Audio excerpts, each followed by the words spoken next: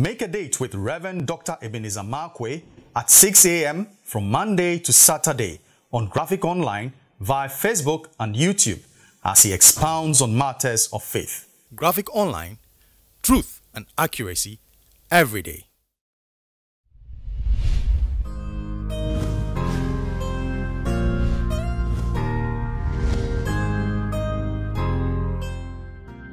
Hello, this is Reverend Dr. Ebenezer Markwei of Living Streams, bringing you matters of faith with Graphic Online. I like to capture my thoughts with words destructive comparisons. You know, I mean, destructive, something that destroys. Comparisons, that is to compare something to something. And my story is still taken from 1 Kings chapter 19. If you remember when uh, in ch chapter 18, Elijah, powerful move of God, powerful, dangerous move of God. And God really answered with fire. Man, I just wish I can pray down fire from heaven. I, I really, I really do. But the Bible says when the issue or the event was rehearsed in the ears of Jezebel, or Jezebel responded. And Jezebel's response was a very vicious response. Jezebel's response was a response of rejection. Jezebel's response was a response of anger and extreme vitriolic language. I mean, boy, she said, I'm going to damage you. I'm going to do something to you. And then Elijah got into depression. And Elijah's depression was so serious that the Bible said Elijah then, uh, hearing Jezebel, hearing Jezebel's voice, Elijah then goes out to tell God that, listen, I am not better than my fathers. Elijah says, I'm not better than my fathers. Elijah was in despair. Elijah was discouraged. Elijah was despondent. Elijah was depressed. And in his depression, in his discouragement, in his despondency and despair, he threw out a language that was very, very dangerous. He said, I am not better than any of my fathers. Now, Elijah began to compare himself to his fathers. That, by, the, by the way, which fathers is he talking about? Of course, then he's talking about the fathers like the Moses and the Abrahams and the Isaacs and the Jacobs.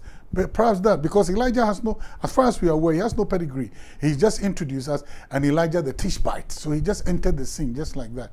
So with fathers, of course, I would assume he's talking about the fallen fathers, the fathers who have gone on before the, the people that we see now praise be great and famous men. The famous men in the Bible was talking about them. And he was saying he was no better. Elijah began to compare himself to them. Now here's the question I want to ask. Which of his fathers prayed down fire from heaven? Jacob prayed down fire from heaven. Isaac prayed down fire from heaven. Oh, Who prayed down fire from heaven? Samson? Samson didn't pray down for fire from heaven. Who else? Deborah? No. Abraham prayed down for fire from heaven? No. He was even praying against the fire falling from heaven. Remember Sodom and Gomorrah? So, what are you talking about? What was he trying to compare himself?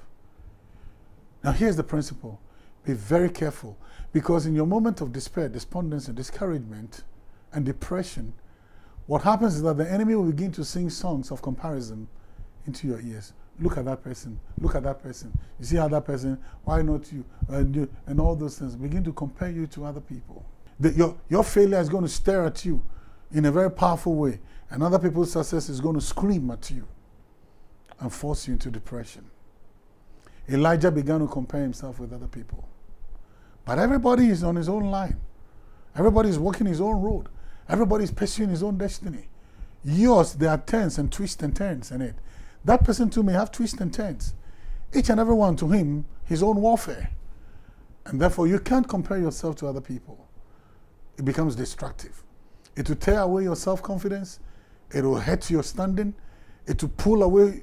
It will pull you away from the altar of prayer. It will pull you. It will break down your your your walls of faith, your pillars of faith. It will break them all down. It will remove you from the the canopy of confidence. It is going to hurt you real bad because they are dangerous comparisons. You can't do that. Destructive in its sense, in everything that it holds. Never compare yourself to others because the Bible says comparing themselves one to another, they became as fools. The benchmarks are different. The calls are different. The purposes are different. Each and everyone has a calling to fulfill. Each and everyone has something to do. Yours may be a different song altogether. Don't allow what you're going through bring you to the place of destructive comparisons? Well, of course, the choice is yours. See you later.